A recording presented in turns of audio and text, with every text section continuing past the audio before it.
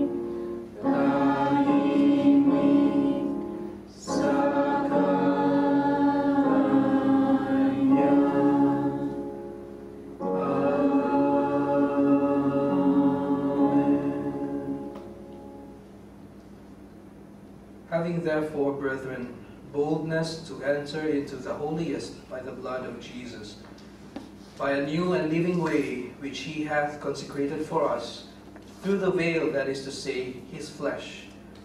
And having an high priest over the house of God, let us draw near with a true heart in full assurance of faith, having our hearts sprinkled from an evil conscience and our bodies washed with pure water.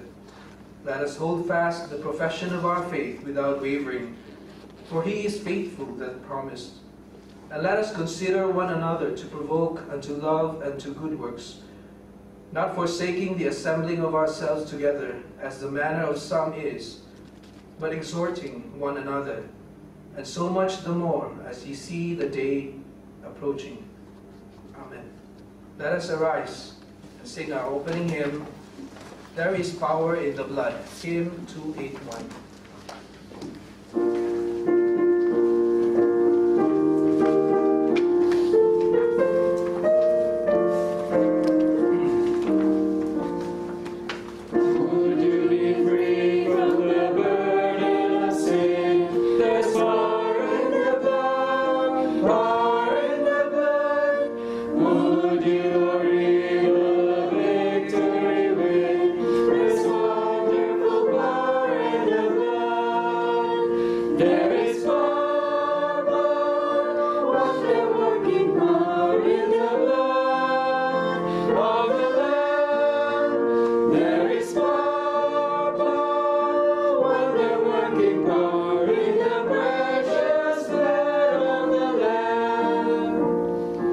Ooh.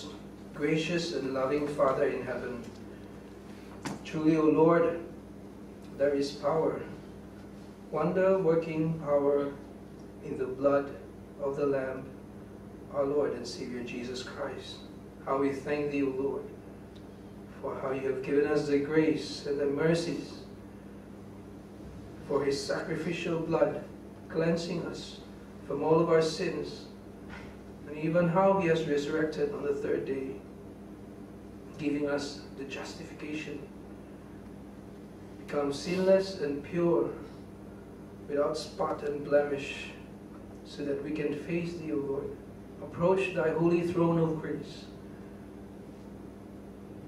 pleasing, acceptable unto thy sight.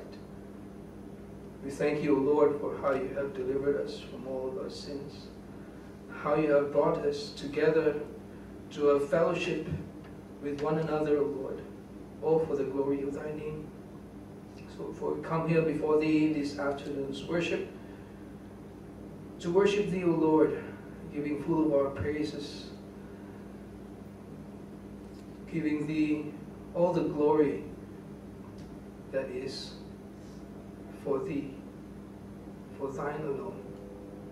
So, Lord, bless us this afternoon in this time of worship, praising thee of all the marvelous deeds that thou hast done for us. We thank you, O Lord, for how you have delivered us from the many troubles that we have faced this week, the past week, O Lord, and how the upcoming week that will prepare us as well. And we know, O Lord, that we will be strengthened because Thou art with us, Thou will continue to guide us, Thou will continue to bless us. May we forever be obedient to Thy words. May we forever continue to be with Thee, to abide in Thy Son, the Lord and Savior Jesus Christ. So, Lord, we commit this time, this afternoon of worship, even singing of hymns to praise Thee of Thy holy name. O Lord, we do give thanks and praise unto Thee. In the wonderful name of our Lord and Savior Jesus Christ, we pray through the words, through the prayer that He has taught us in this manner. Our Father, which art in heaven, hallowed be thy name. Thy kingdom come, thy will be done on earth as it is in heaven. Give us this day our daily bread, and forgive us our trespasses, as we forgive those who trespass against us. And lead us not into temptation, but deliver us from evil. For thine is the kingdom, and the power, and the glory, forever and ever. Amen. Please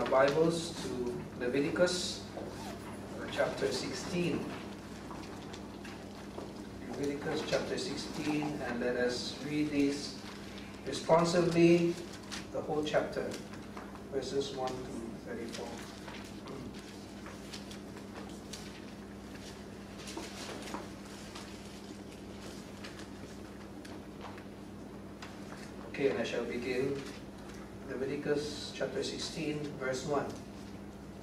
And the Lord spake unto Moses after the death of the two sons of Aaron, when they offered before the Lord and died.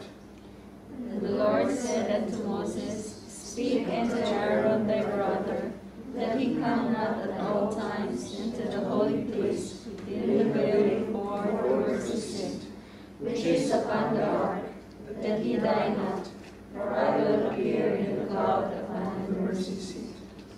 Thus shall Aaron come into the holy place with a young bullock for a sin offering and a ram for a burnt offering.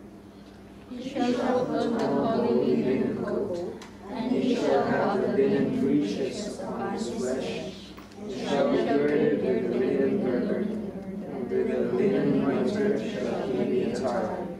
These are holy garments, therefore shall he wash his flesh in water, and so put them on. And he shall take of the congregation of the children of Israel two kids of the goats for a sin offering, and one ram for a burnt offering. And Aaron shall offer his bullock of the sin offering, which is for himself, and make an atonement for himself and for his house. And he shall take the two goats and present them before the Lord at the door of the tabernacle of the congregation. And Aaron shall upon the two goats, one lot for the Lord, and the other lot for the scapegoat. And Aaron shall bring the goat upon which the Lord's lot fell, and offer him for a sin offering. But the goat on which the lot fell to the scapegoat shall be presented alive before the Lord, to make an atonement with him, and to let him go for scapegoat into the wilderness. And Aaron shall bring the bullock of sin offering, which is for himself, and shall make an atonement for himself and for his house, and shall kill the bullock of the sin offering, which is for himself. And he shall take a censer full of burning coals of fire from off the altar before the Lord, and his hands full of sweet incense, and small, and remain him daily. And he shall put the incense upon the fire before the Lord, that the cloud of the incense may cover the mercy seat that is upon the testimony, that he die not. And he shall take the blood of the bullock, and sprinkle it with his finger upon the mercy seat his Lord. And before the mercy seat shall he sprinkle of the blood his finger seven times. Then shall he kill the goats of the sin offering that is for the people, and bring his blood within the veil, and do with that blood as he did with the blood of the bullock, and sprinkle it upon the mercy seat and before the mercy seat. And he shall make an atonement for the holy place because of the uncleanness of the children of Israel, because of their transgressions and all their sins. So shall he do for the tabernacle of the congregation, remaineth among them the of them. And there shall be no man in the tabernacle of the congregation when he goeth in to make an atonement in the holy place, until he come out, and have made an atonement for himself and for his household, and for all the congregation of Israel.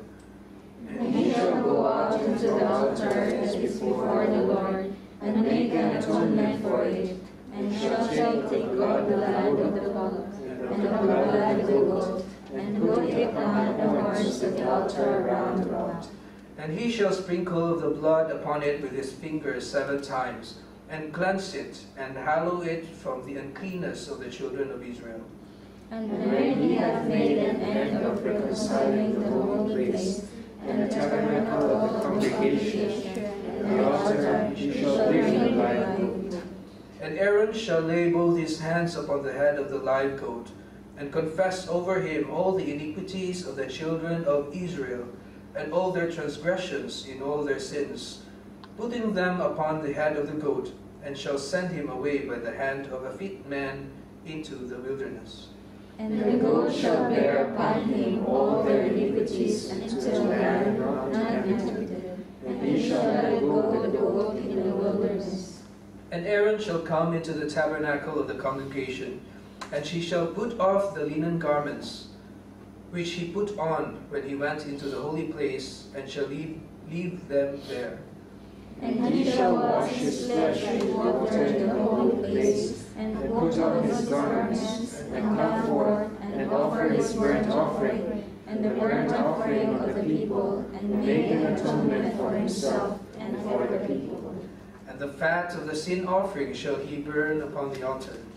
And he that made the goat for the scapegoat shall wash his clothes, and bathe his flesh in water, and afterward come into the camp. And the bullock for the sin offering, and the goat for the sin offering, whose blood was brought in to make atonement in the holy place, shall one carry forth without the camp, and they shall burn in the fire their skins, and their flesh, and their dung. And he that burneth them shall wash his clothes, and bathe his flesh in water, and afterward he shall come into the camp. And this shall be a statute forever unto you, that in the seventh month, on the tenth day of the month, ye shall afflict your souls, and do no work at all, whether it be one of your own country, or a stranger that sojourneth among you. For on that day shall the priest make an atonement for you, to cleanse you, that ye may be clean from all your sins before the Lord. It shall be a Sabbath of rest unto you, and ye shall afflict your souls by a statute forever. And the priest whom ye shall anoint, and whom ye shall consecrate to minister in the priest's office in his body's dead, shall make the atonement, and shall put on the linen clothes, and the holy garments. And he shall make an atonement for the holy sanctuary, and he shall make an atonement for the tabernacle of the congregation, and for the altar, and he shall make an atonement for the priests, and for all the people of the congregation. And And this shall be an everlasting statute unto you, to make an atonement for the children of Israel, for all their sins once a year. and he did as the Lord commanded Moses. Amen. Blessed be the reading of his most holy word. In response, let us open our hymn book to hymn 291. Nothing but the blood.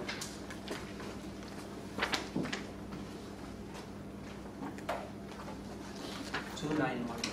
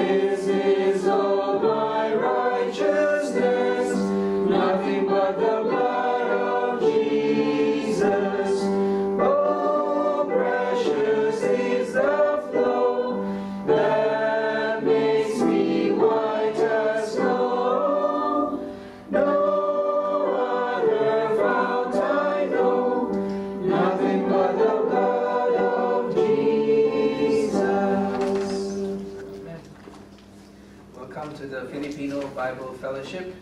Magandang hapon sa inyong lahat. And we have now come once again to our memory verses. I hope you have memorized this. Three verses from Psalm 51. Let us read this once and we will try to memorize this twice. okay, ready? Reading. Psalm 51 verses 9 to 11. Hide thy face from my sins, and blot out all mine iniquities. Create in me a clean heart, O God, and renew a right spirit within me. Cast me not away from thy presence, and take not thy Holy Spirit from me. Psalm 50, scripture text reference.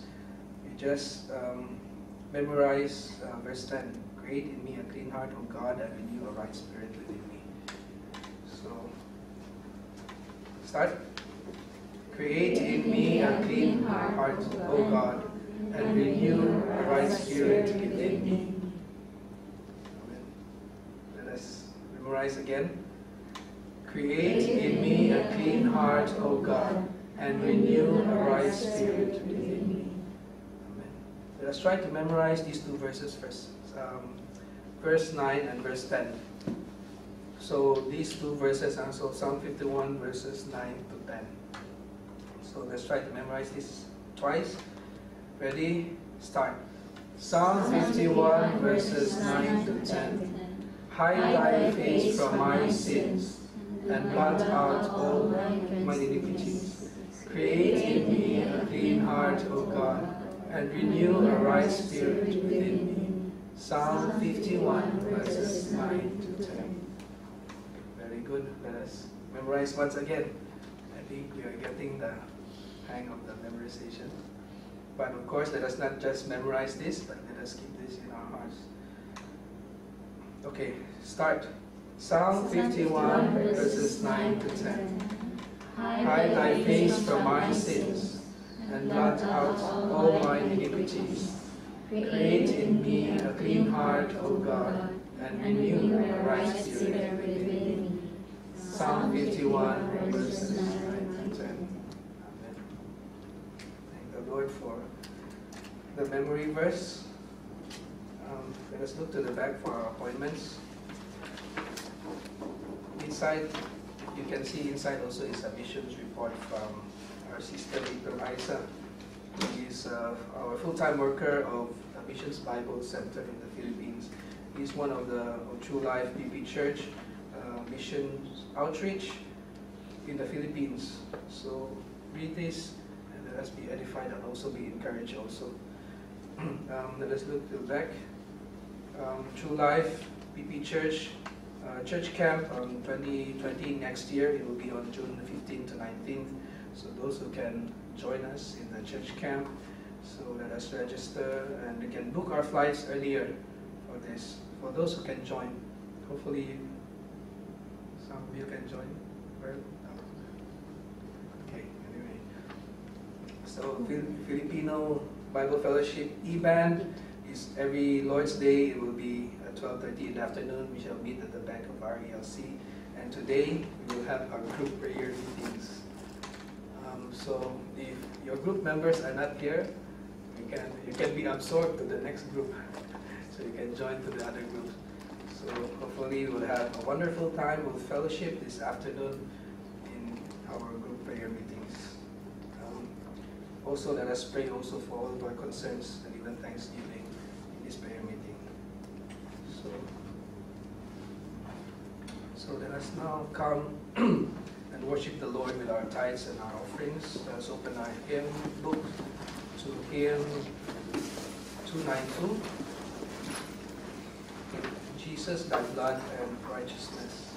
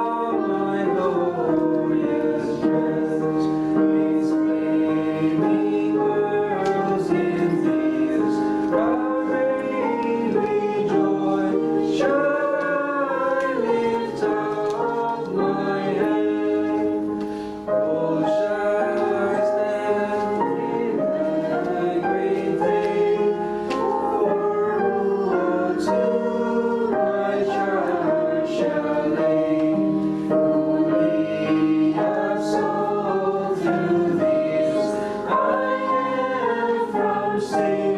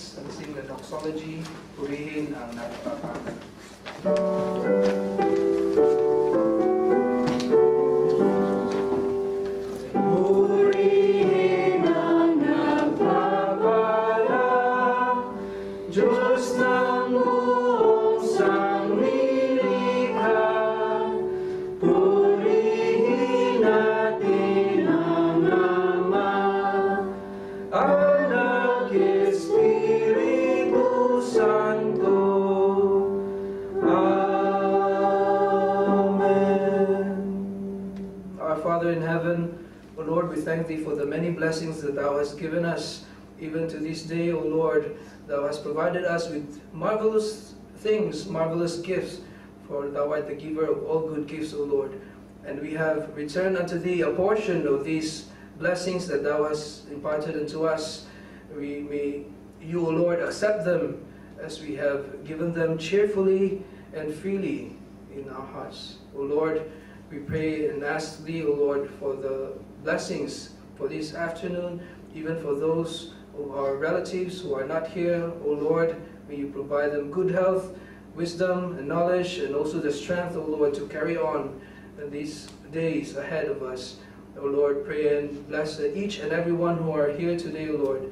May you guide all of us to always call upon Thy name, especially when we are in trouble, O Lord.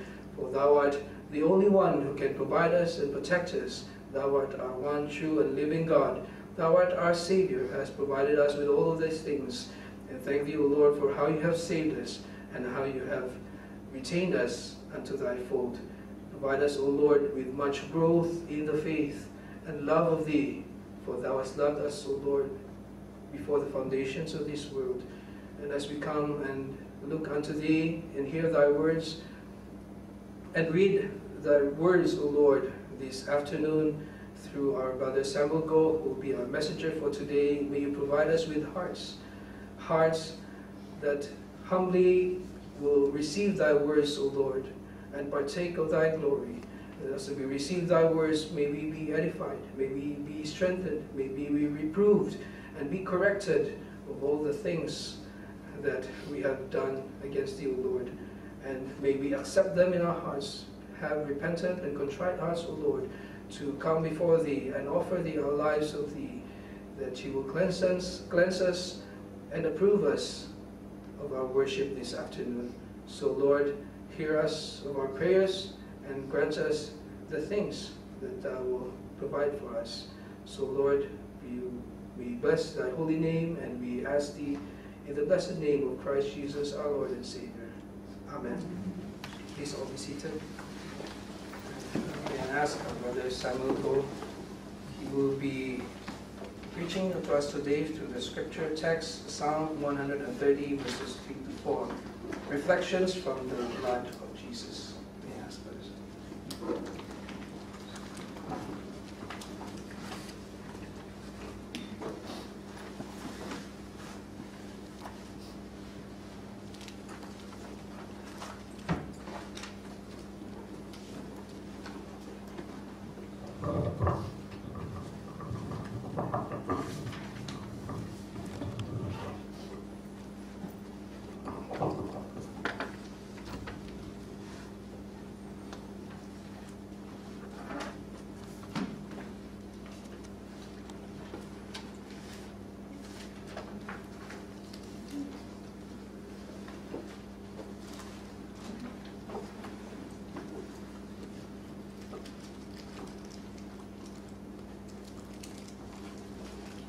Let's open our Bibles to Psalm 130. Psalm 130, verses 3 and 4.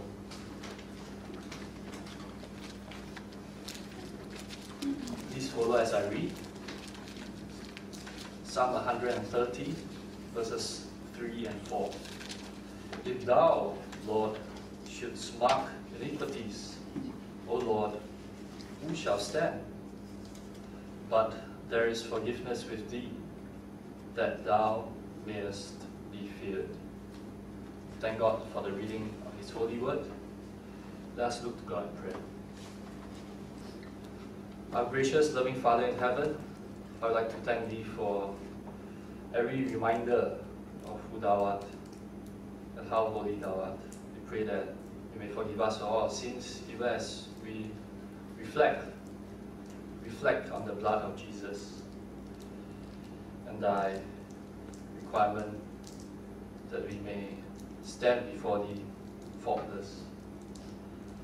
Pray that you may cleanse us all from all our sins, and may thy Holy Spirit be our teacher, not only to instruct us, but also to nourish us, that we may grow in the faith, that we may grow to love thee more, to enjoy thee for who thou art, for what thou art. Please have mercy on us, teach us. In Jesus' name we pray. Amen. I greet you in the blessed name of our Lord and Savior Jesus Christ. Today's topic is on reflections. Reflections on the blood of Jesus. And although in these two verses, the blood of Jesus is not mentioned, but there's something we need to think. What's the connection between fearing God and forgiveness? Verse 4 tells us, But there is forgiveness with thee, right, with God. Who is the thee over there? Right? Capital L O R D, verse 3. Lord, Jehovah. And then we have a capital L, but small O R D. Tells us that he is the sovereign ruler of the universe, Lord, or Adonai. And usually, when we think of the word forgiveness, right? We think of the word love. I love you, therefore I forgive you.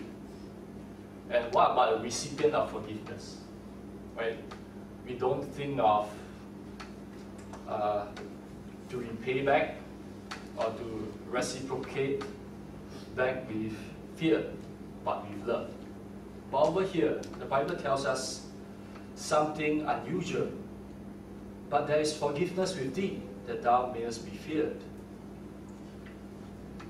So God gives forgiveness, God issues forgiveness so that God Himself may be feared. Right? That is something unusual. Right? It's easier for us to understand that God may be loved when He gives forgiveness. Right? The, the thing over here is found in verse 3. If thou, Lord, should mark iniquities, O Lord, who shall stand? So, what is the word mark? Alright, firstly, you must know what iniquity is. Right? The biblical definition for sin or iniquity or transgression is usually uh, comes from two things, two concepts: imperfection and crossover or trespass uh, boundary. And so we have, let me illustrate this.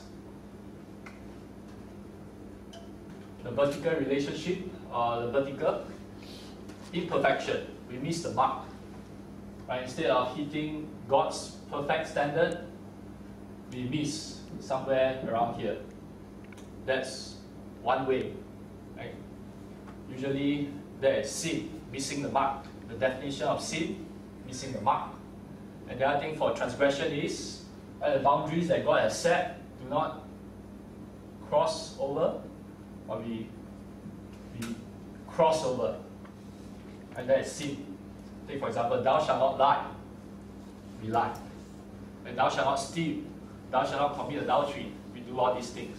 And so these are boundaries. God said, God prohibits, but we cross over. So that's sin.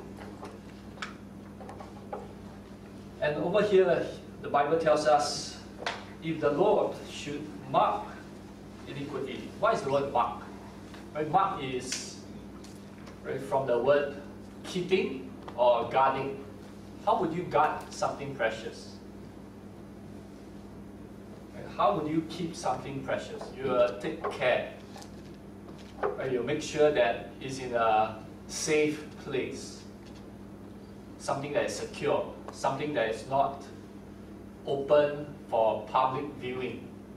Right? Otherwise, people just walk past, they can take or put inside their pocket. And that's why there's uh, that's why in the market people sell safe deposit box. Right? And this safe deposit box cannot be easily opened. Right? Cannot be easily uh, broken in. And for people to carry away, it cannot be light, it must be heavy. Otherwise people can carry and run. It wouldn't be so safe anymore. And it tells us of paying careful attention. Right? Usually when we guard God's word, we keep God's word, it tells us that we are to pay careful attention to observe the law. So over here, the object of guarding right, is actually our iniquity. What does it mean? Right? It rightly means that God, if God would carefully examine us, our iniquities, though we will not stand. We cannot stand before His presence without failing. That is why psalmist rightly understood. Right? If God should mark, should mark iniquities, right, no one can stand. No one can stand faultless in His presence. As we know in examination, it's very difficult to score full marks. Requires study, and not just overnight study, but requires effort and sustained effort. You need to put in effort consistently in order to improve, in order to remember what you have learned weeks before or months before. And you need to do a lot of things just to get full marks if possible. And we know none of us are perfect. And that's why this verse tells us no one can stand before the presence of God by our own self, on our own. And this is to tell us something very important, which is our first point. Right? God's standard of holiness is perfect.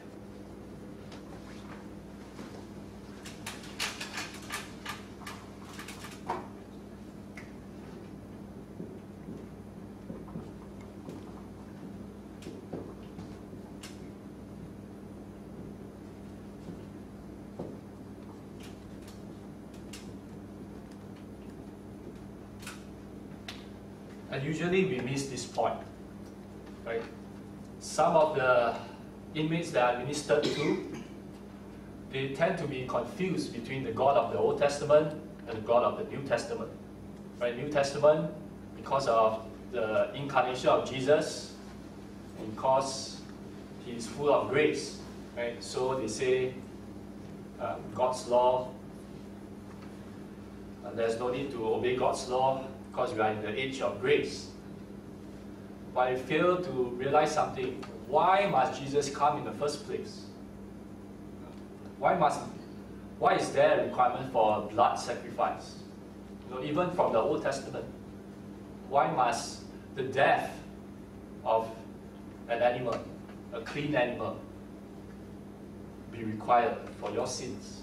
Right? It's to remind us of the seriousness of sins seriousness of our offense to God, as well as what He will do in Jesus Christ.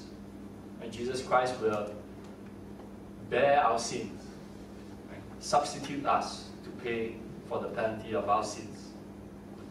So when Christ comes, He reminds us of His perfect standard of holiness. He's the same God. Right? God of the New Testament is the same God of the Old Testament, his standard does not change. And that is why God requires a blood sacrifice. And that's why Jesus has to come. And we look now to Exodus chapter 12. It's something about the Passover lamb.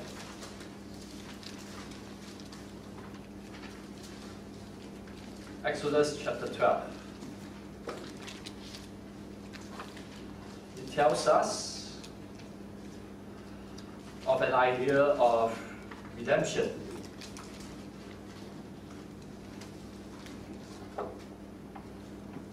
Exodus chapter 12.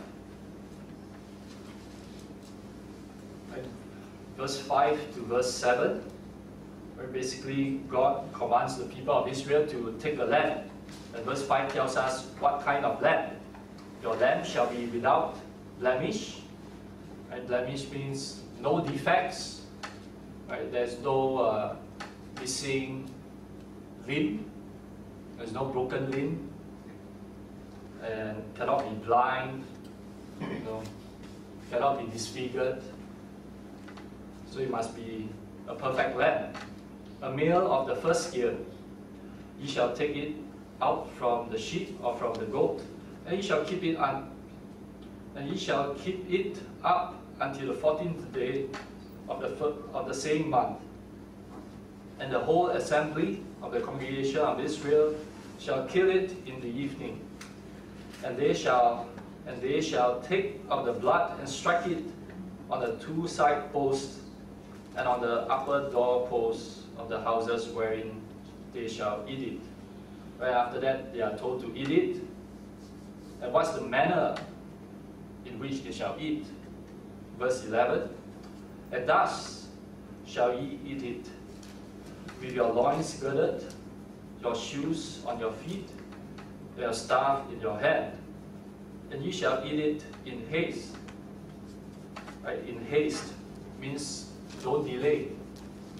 Right? Don't keep until the next day. It is the Lord's Passover. And what's the meaning? Verse 12 For I will pass through the land of Egypt this night, and will smite all the firstborn in the land of Egypt, both man and beast, and against all the gods of Egypt. I will execute judgment. I am the Lord. And the blood shall be to you for a token upon the houses where ye are. And when I see the blood, I will pass over you. And the plague shall not be upon you to destroy you when I smite the land of Egypt. In other words, instead of you being destroyed, right, the lamb, the Passover lamb, is destroyed in your place, on your behalf. And when we think of blood, what do we think of? Think of life. Right? It's not those blood you see in a hospital, right, already pre-packed, ready to be used for transfusion to save life we see as a lifeblood of a man. Right? In Leviticus chapter 17, verse 11.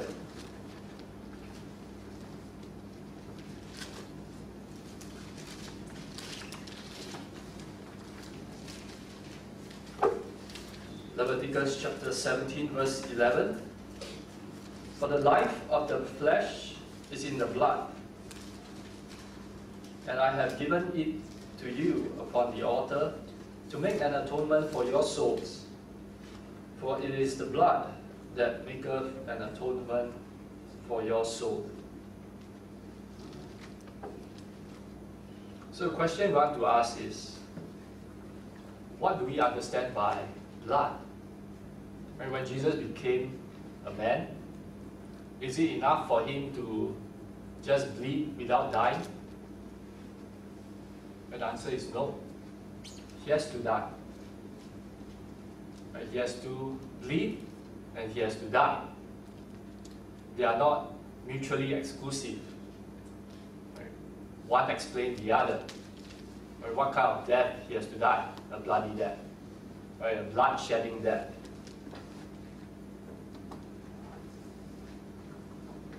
And you must know something. How is forgiveness obtained?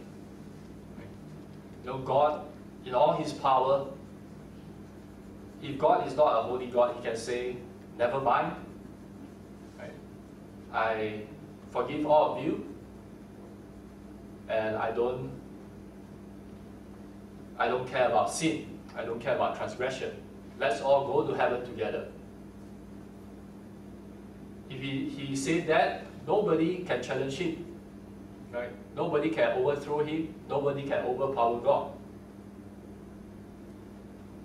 But the thing is, He's holy.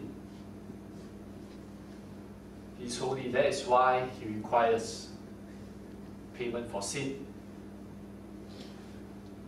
And you must know what comes to your mind, or what comes to our mind when we think of blood. You know, there are many ways to die. Many ways. Some people can be executed by sitting on an electric chair. And maybe after a few seconds of electric shock, they would die. Some, they swallow a pill or drink a poison, drink a cup of poison, they will die. Right? Maybe an injection, they will die. And some of these methods of death doesn't require blood and are painless, right? Some of it are painless and doesn't require shedding of blood.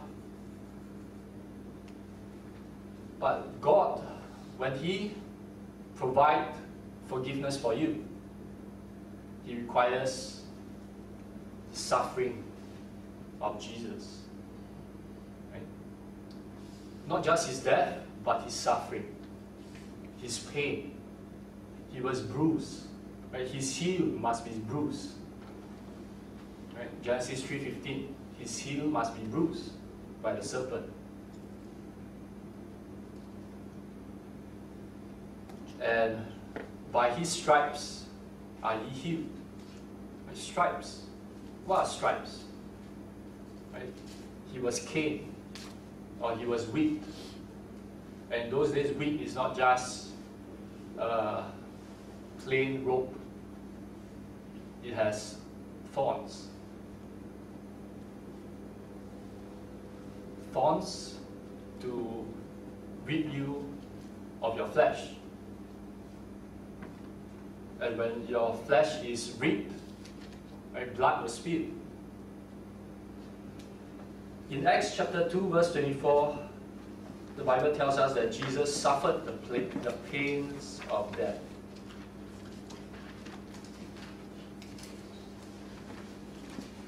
I note the plural the pains of death.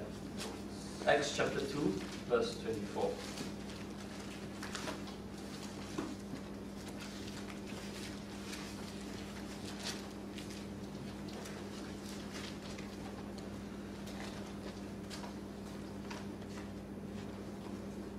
Verse 22 tells us it is Jesus of Nazareth, and a man approved of God among you. And verse 23 tells us his crucifixion, him being delivered by the determinate, the determinate counsel and foreknowledge of God, ye have taken and by wicked hands have crucified and slain, whom God hath raised up, having loosed the pains of death, because it was not possible that he should be holden of it. Right? Pains of death, loosed from the pains of death. And so when God forgives you, the only way is through Jesus Christ.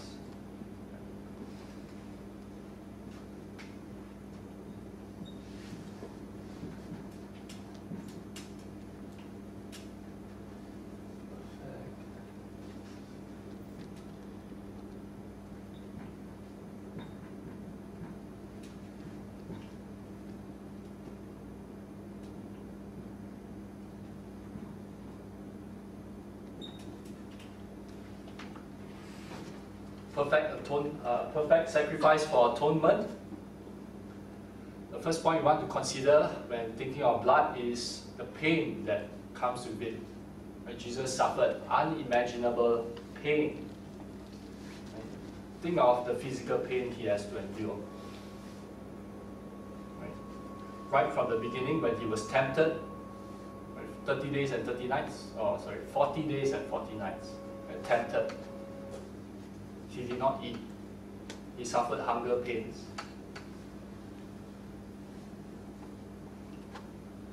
Then what else?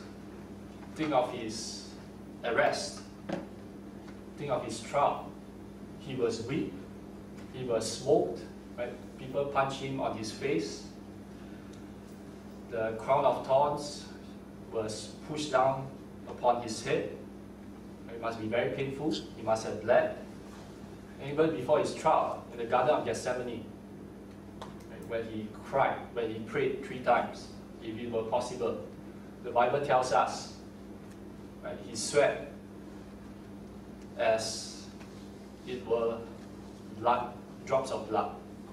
It tells us that he actually bled due to a tremendous amount of stress, mental stress, until he, he bled. And then what else? Think of his crucifixion. Crucifixion. Right? Is man's history's most painful way of executing a criminal. You know, it's not a gunshot, right? Shoot the heart or shoot the head. Few moments later, you die. Crucifixion. Not only the trial overnight, but he had to carry his cross, bearing the shame of a criminal, not for his own crimes. And then he has to be hung on the cross. Right? Nailed. The Roman soldiers nailed him to the cross. And in the crucifixion, he carries his weight. Right? The nails is still there. Uh, makes him bleed little by little. And then he has to struggle for his breath. So much pain. And that is the physical aspect of the pain. Right before dying. Imagine hanging on the cross for many hours, at least six hours. And he bled to death. That is why there's no need for the Roman soldier to break his bones or break his leg. Right? Why were the two thieves had their legs broken? So that they cannot use their leg to support themselves to inhale to get oxygen.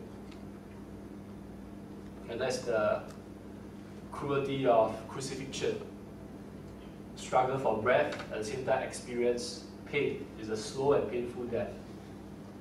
That's why in order to speed things up, break their legs, and then they no longer have the strength to lift themselves up to catch their breath. So the two thieves died of suffocation. But Jesus bled to death. And this is just the physical aspect of it. Let's think about the mental aspect. Before his arrest, we know that his arrest taken uh, took place at night. But you must know something during the day. He was not sleeping. He did not have seven hours of uninterrupted sleep before his arrest. The day, he goes through the day as usual. Uh, and can you imagine the tiredness he has to go through? Right? The day may be a normal day for him, but at night time comes, he was arrested and he was tried overnight. Not just in one place, but a few places. Not just by the Sanhedrin Council, but by Pontius Pilate, and then one of the Herod, then by Herod, then go back to Pontius Pilate. Then in the daytime, he was crucified without sleep. And can you imagine in your human experience, what happens when you are tired? You uh, get frustrated easier. You may get angry easier. Every minor thing will be exaggerated by you because you are tired. Can imagine the Lord Jesus Christ went through all this, keeping his cool, without getting frustrated. And let's think about his mental pain, the insult that he received. And John tells us he came unto his own, but his own received him not. He was rejected.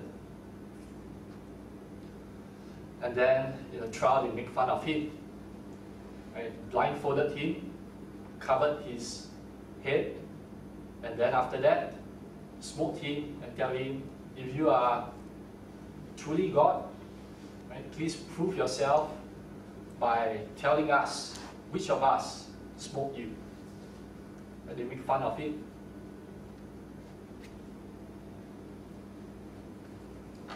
And you must know something about insult. They are not insulting a fellow man.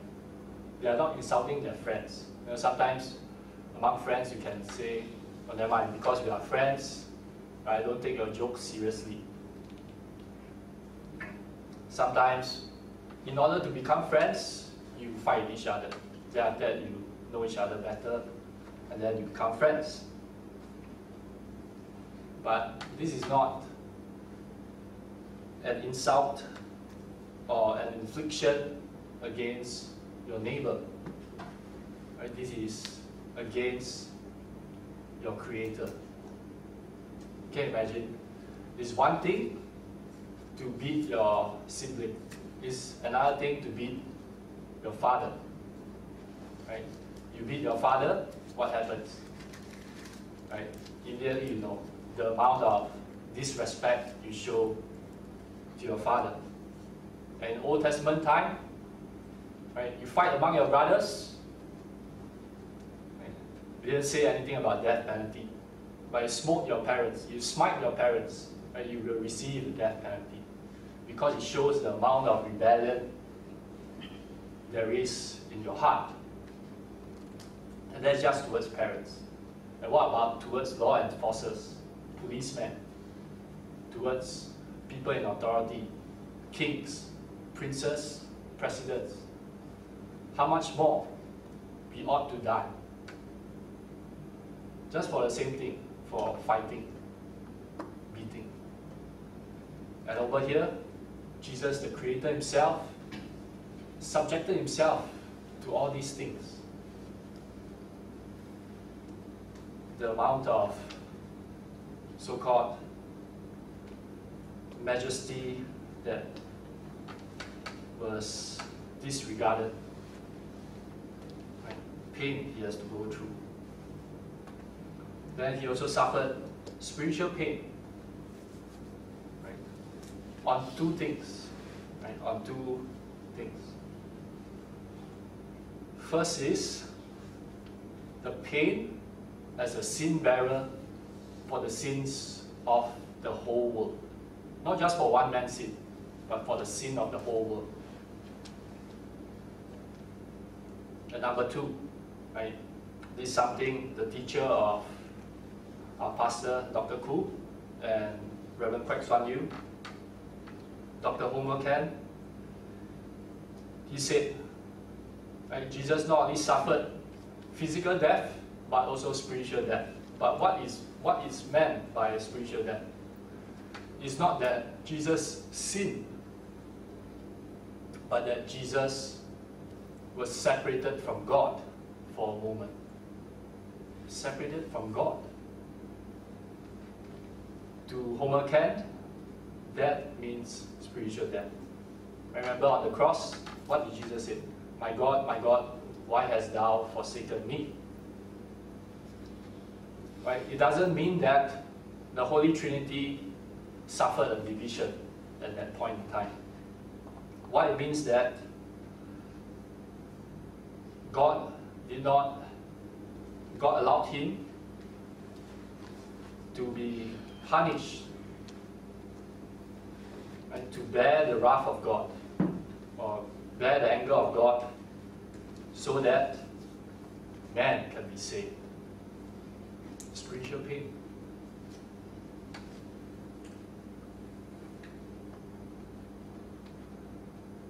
And that's why when we think of blood, we must also think of the pain and the suffering he went through. Jesus went through for us.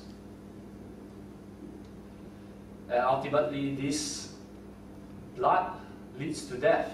That's why in Colossians chapter 1, verse 20 is called the blood of the cross.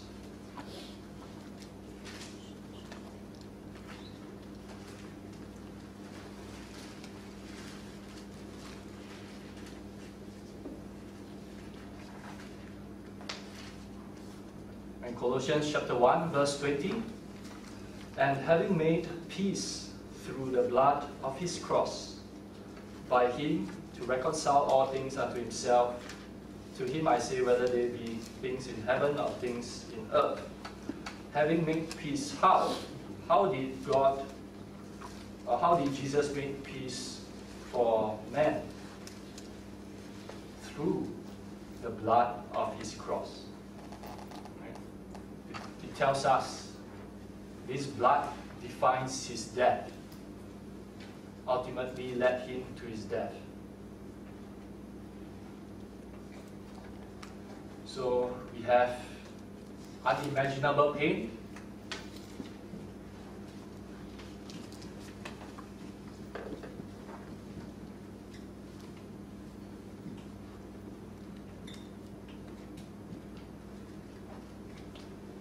And now, another thing about blood is we must take note of the kind of blood, the quality of blood. What's so special about this blood? Is it any man's blood? Let's turn to Peter. Peter chapter 1, verses 18 and 19.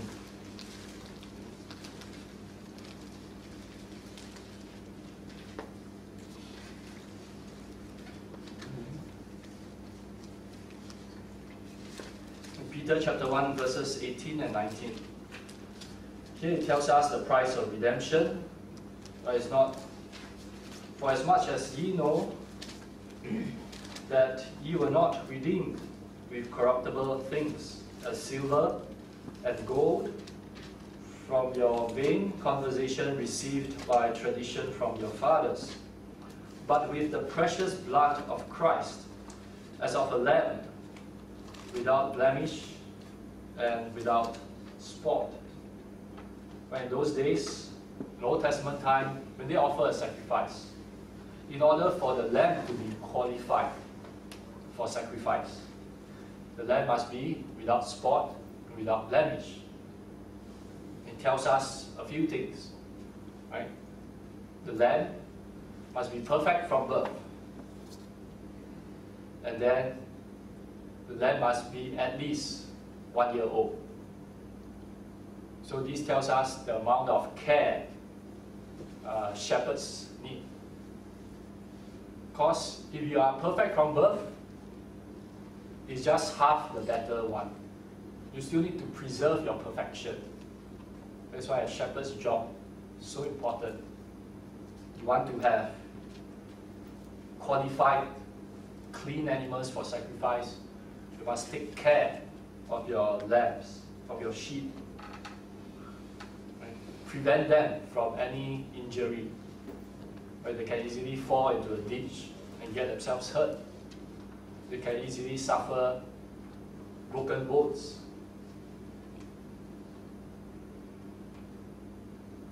And over here we are told that the blood of Jesus right, is without spot and without blemish. And that is why it's precious. And do you know why? Because it's not blood, it's not the blood of an ordinary man. It's a sinless blood. Not just that, it's the blood of a God man. In Acts chapter 20, verse 28,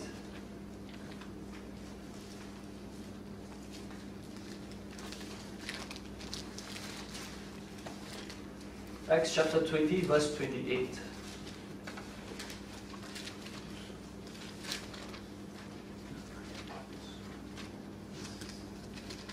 Here the Bible tells us, Take it therefore unto yourselves and to all the flock over which the Holy Ghost hath made you overseers, to feed the church of God which he hath purchased with his own blood.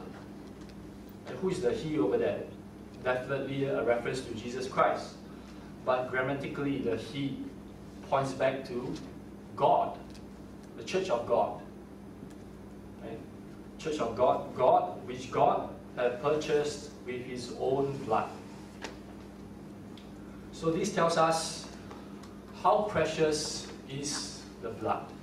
It's not just a sinless blood, but it has infinite worth because it's the blood of a God man. It's not the blood of Adam before the fall. And the preciousness also gives us an idea that is unique.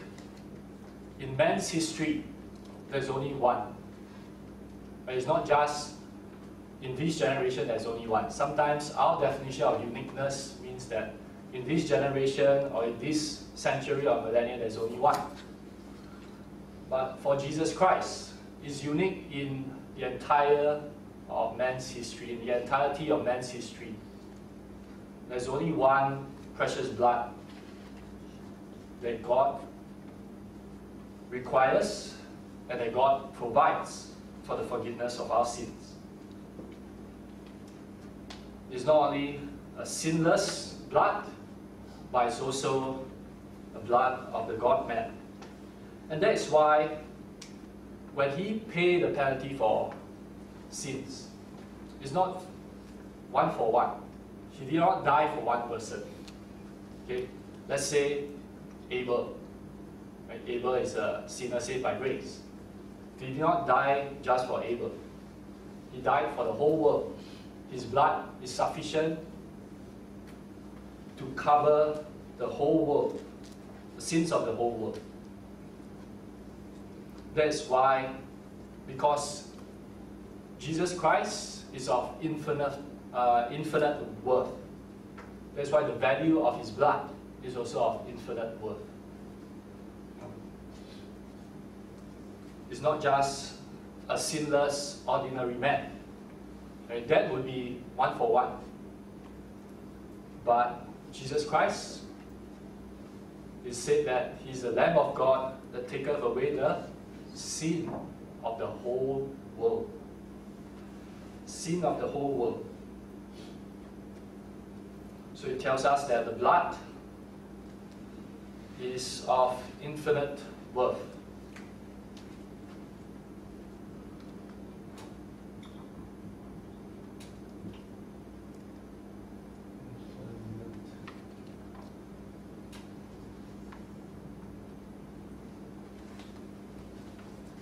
Two reasons because it's sinless and it is the blood of the God man.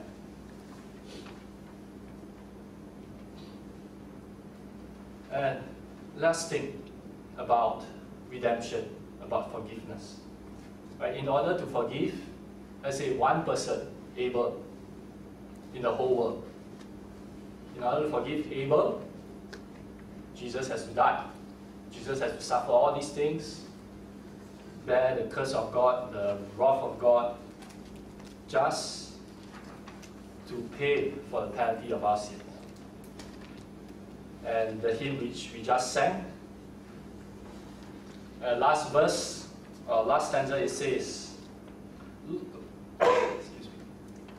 Lord, I believe we're sinners more than sands upon the ocean shore. Right? Even if all the sinners in man's history were to believe in Jesus Christ,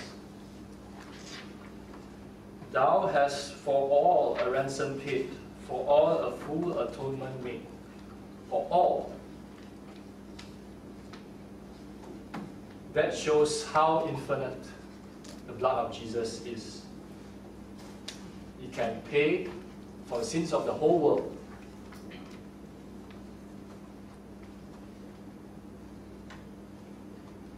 And so there are a few things we can learn from this. A few things. The important thing is, firstly, it has to do with salvation. And salvation is free, it requires no contribution on your part. And free for your reception.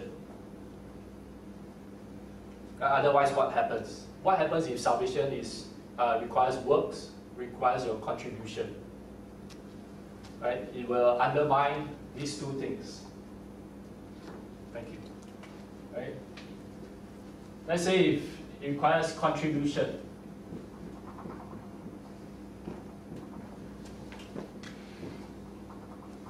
And whether donation or good works or charity, you will undermine the blood of Jesus, the pain that he has to go through, and it will also undermine God's standard of holiness.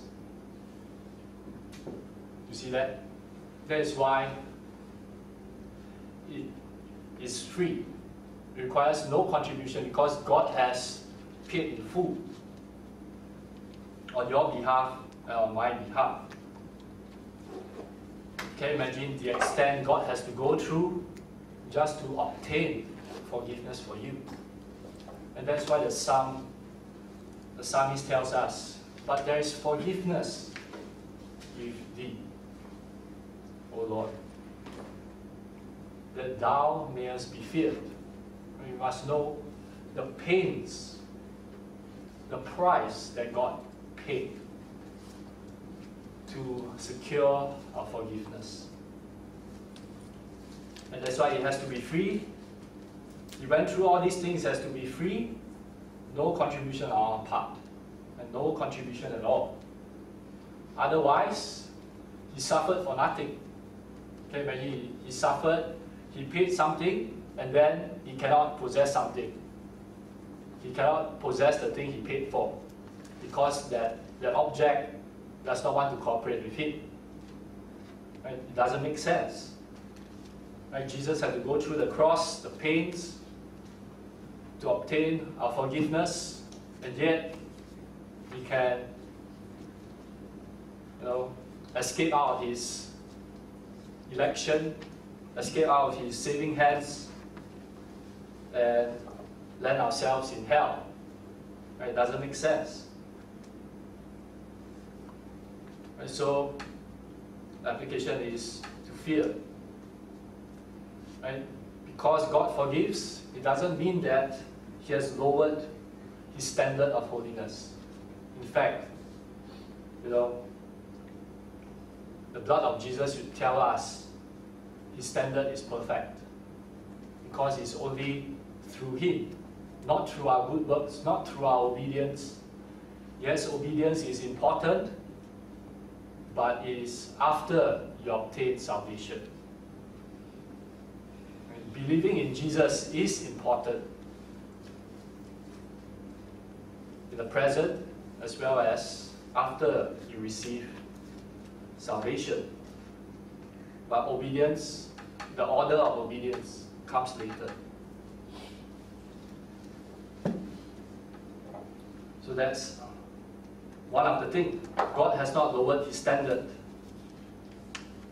So the application for us is to fear. The second thing is to love. Love God. Love God more. Right? We can pray. Thank you for Jesus Christ. Thank you, Lord, for Jesus Christ. And how do you love God? Right? You cannot be lazy. You have to work hard to know God. Not just know about God, but really to know God. Right? Remember the illustration about studying for exam to get full marks? The same kind of effort And discipline has to be applied in our studying of the scriptures. And the purpose is not for examination, but to know a person. And this is something fundamental churches often miss. We may know the Bible well, we may be well instructed, but our personal relationship with Jesus is not really developed. We don't really enjoy Him. And the reason why we behave ourselves is not really because we fear Him, but we fear the consequence. We fear of the shame, we fear of the embarrassment, and we fear that our salvation may be questionable. There's a difference. And one involves a personal relationship, the other doesn't involve, doesn't require a personal relationship. A personal relationship is definitely more than the consequence you face, right? With, with, with reference to the law of the land or the requirement of the Bible. Right?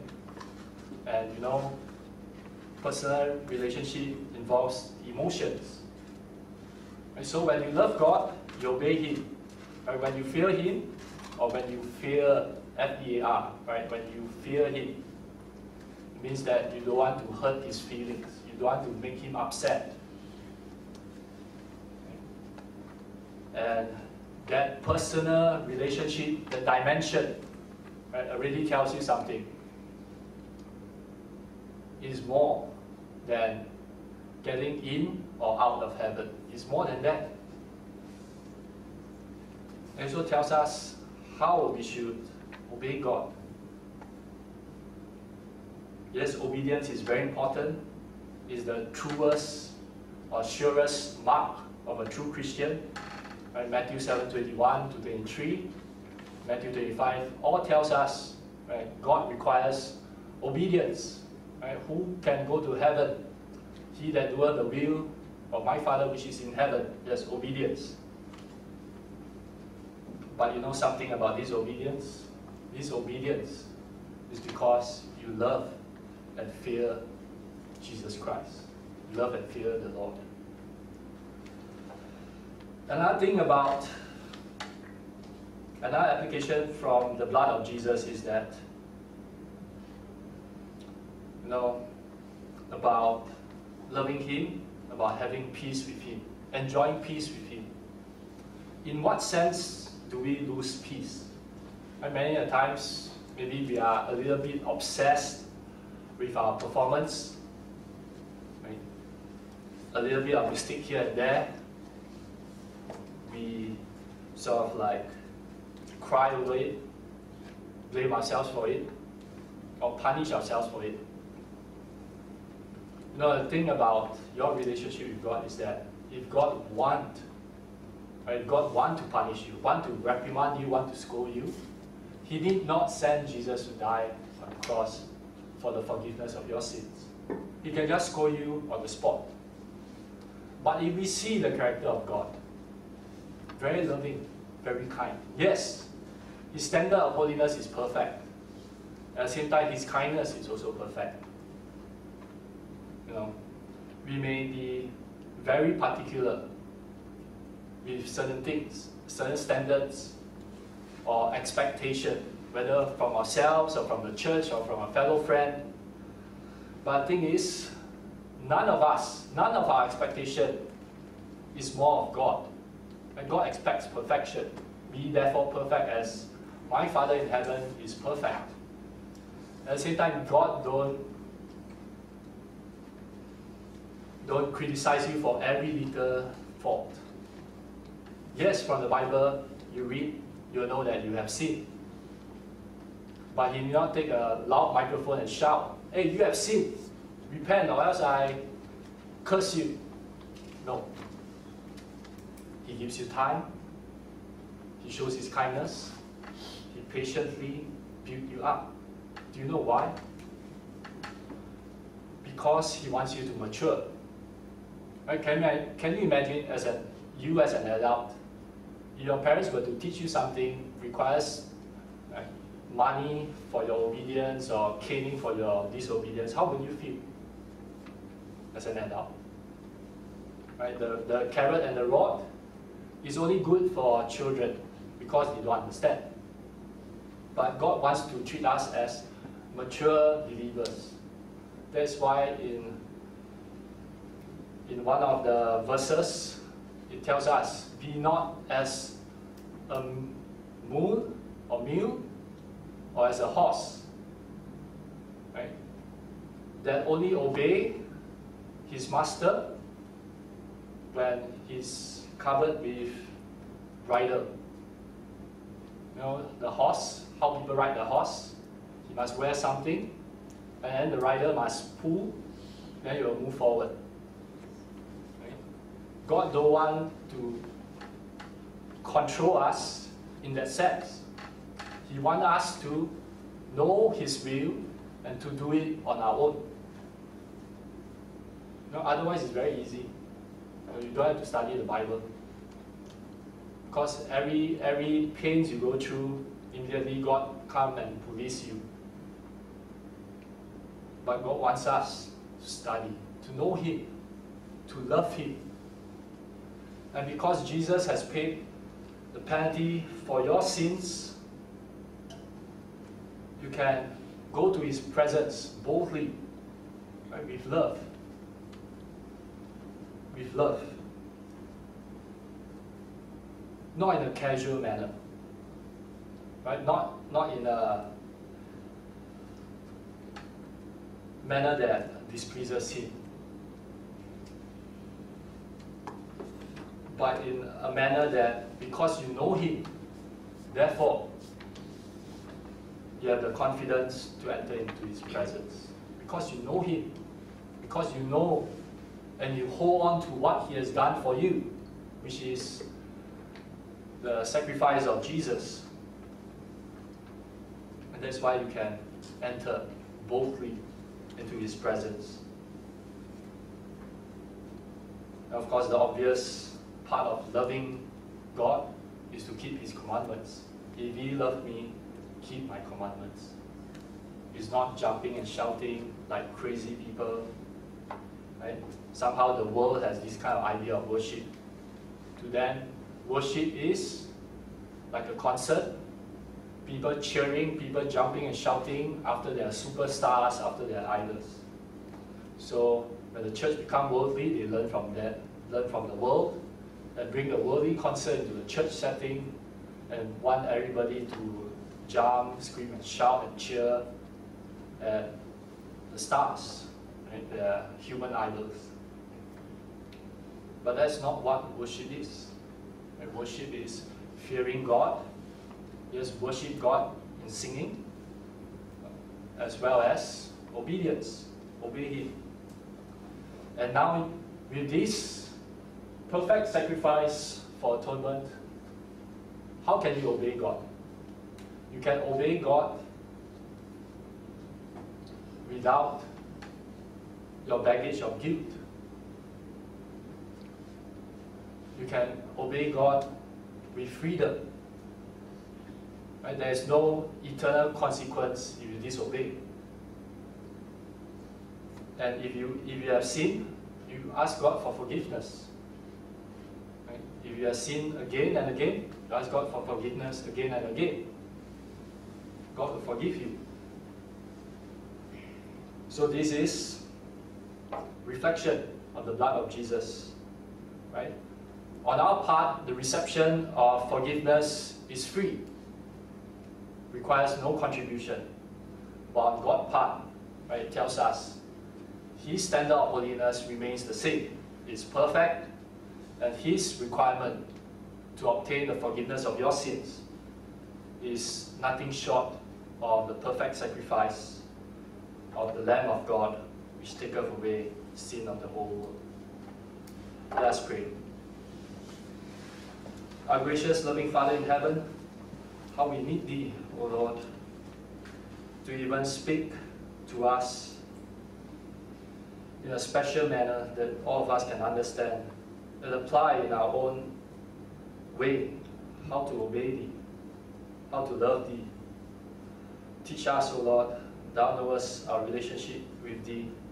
Many a times we are well instructed, but we are not necessarily healthy Christians because we fail to develop a personal relationship with thee on the basis of what thou hast done for us, the basis of reading thy word with a loving interest in thy Son. We pray that you may teach us to love thee and to fear thee, and to keep thy commandments. Bless thy people. In Jesus' name we pray. Amen. In closing, let us sing hymn 300.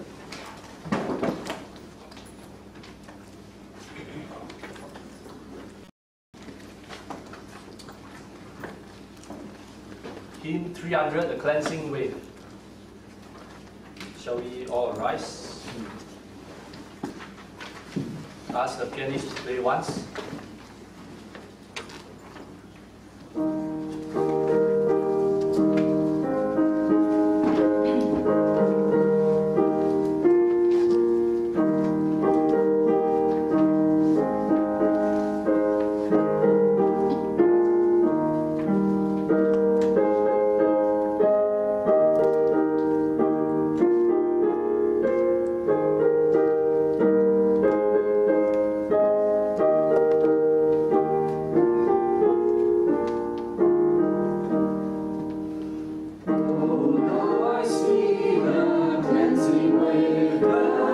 Gracious,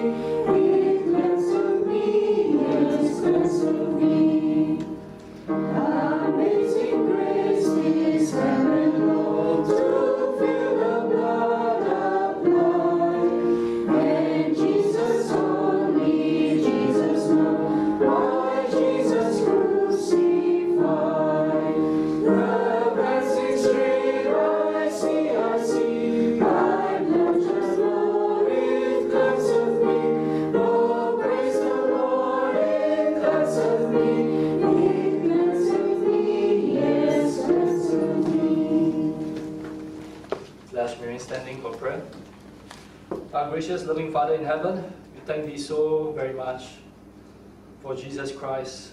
Thank Thee for even ordaining Him to be the sacrifice for our sins before the foundation of the world. Thank Thee for loving us, and thank Thee for telling us that You are the infinite, holy God once again. Pray that we may live soberly thy presence. Bless thy people this afternoon and pray that thou would renew our strength, that we may enjoy thee and glorify thee in our life on earth. Help us all. We pray and ask with thanksgiving for thy glory. In Jesus' name we pray. Amen. Amen.